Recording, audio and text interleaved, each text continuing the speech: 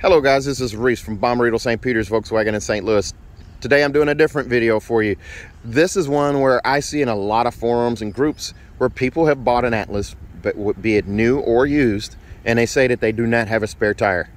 No Atlas has been built without a spare tire. Every Atlas from 2018 all the way up to 2020, 2022 has a spare tire, and I'll show you where that is. If you open your hatch back here, doesn't matter if you have the manual lift gate or the powered lift gate. Beneath this floor right here, you lift this guy up right here, and some of you have a cargo containment cover system over this or whatever. This handle's still here. This lifts up. It looks like you have this hump here. That is where your spare tire is.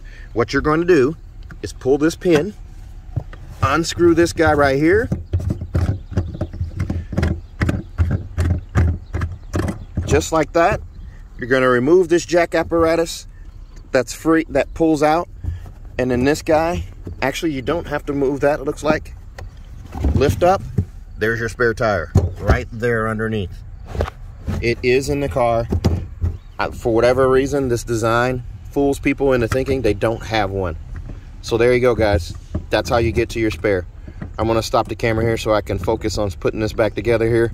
But uh, that's how that works. If you guys have any questions at all, post them in the comments down below.